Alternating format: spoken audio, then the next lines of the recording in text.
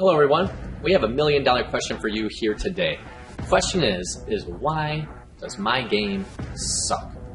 So before we get into what we're going to talk about, we'd like you in the comment section, let us know why you think your game sucks, uh, what makes it suck, and then give us some feedback. So we'd love to hear from you today before we get into this. So there are some reasons that we see that definitely hurt people, and we'd love to know what you think before we get into it.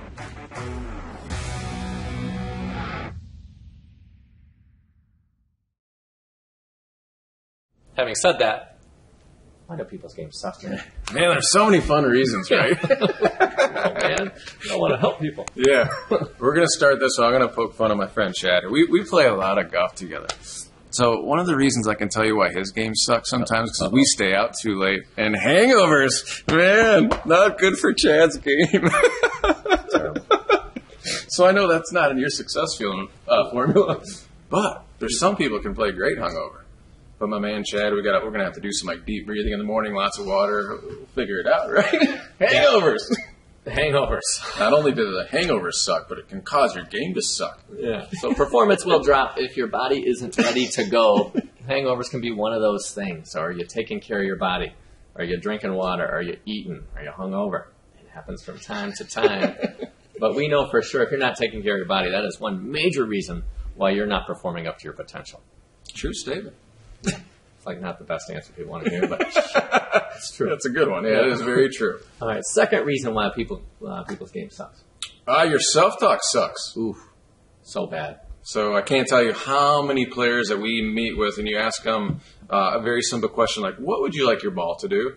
They describe everything that they don't want to have happen. So if I tell you not to think of a pink elephant, the first thing that's going to pop in your mind is a pink elephant. So if you're telling yourself not to hit it out of bounds or don't embarrass yourself, guess what? It's going to come true. So your self talk sucks. We hear it every day. We hear words like "I can't," "Don't," "I'll try." Yeah. Um, I don't know. They're basically the run-on story or run-on sentence about their swing problems. So if you're thinking about your problems, you are not thinking about your solutions, and that there makes your self-talk suck. That's true. Number three reason. Your equipment sucks. I mean, I can't tell you how many times somebody someone will come in here and they're, they're playing equipment from the 1980s. Uh, they're 65 years old, and the equipment from the 1980s has this very heavy steel shaft. They're blades, so there's no forgiveness. They're not designed to get up in the air. That's one of the reasons why you suck, because your equipment sucks. Yeah, So a lot of folks will ask us, does club fitting matter? And it matters a lot. So let's say with it, you're probably watching this on your iPhone right now. If I gave you a flip phone from like 15 years ago, would you be able to do what you're doing right now? The answer is no.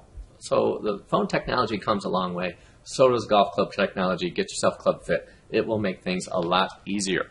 Rule of thumb, if it feels like the club you're using, you're not able to perform with it, it's not the right club for you. Okay, number four. Number four, you're thinking too much. Damn. When you're thinking, you're stinking. Let's calm the mind down a little bit. We've talked about this many, many times. You have to make sure that you're internally quiet when you're swinging a golf club. No thinking. You can sense, remember, thinking equals thinking. monkey mind. Less thinking, more doing. So you can't think your way into a better golf game, you gotta go do it. Yep. Okay, so stop doing that. Fifth reason. Your skills suck. Damn. Dude, you're killing me, man.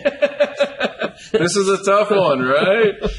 You still have to get skilled when it comes to this game. So we once again we talked about this in the best damn ball striking series. You have to be able to move the club around with the divot, high, low, forward, back. You have to be able to hit the toe, hit the heel, find the center. You have to be able to manipulate the face. You have to be able to manipulate the path. If you're not the master of variability, You suck. you're probably going to suck. Yeah, so basically, skills, for our definition, we're simple folks. Skills equals know how. Do you know how to move the club around? Do you know how to get the face open, closed, so on and so forth? All the things you just said. So Yeah. if you don't know how, it is going to struggle. So you mean to tell me if I go play and I'm hungover, my self talk sucks, I'm thinking too much with the wrong equipment, and I have no skills, it's not going to work? Well, I mean, you Probably. could probably still play the game, just not to uh, not to the potential that you're capable of. That's all. I'm definitely going to suck at all things. Yes. That is true. Okay, so a lot of the things that we talked about are under your control. You can change your story at any time. I can drink more water, drink less bourbon, whatever. Even though it's not as fun. Right. Get more equipment, start training for skills versus perfect technique. You'll be shocked how far that takes you. So, we hope this backdoor way to look at it uh, helps you. Let us give us some comments and let us know some things that you're currently doing that are under your control to address the things, and then compare our list against your list. What did you actually think uh, caused you to suck? So, we thank you for joining us. We'll look forward to seeing you next time.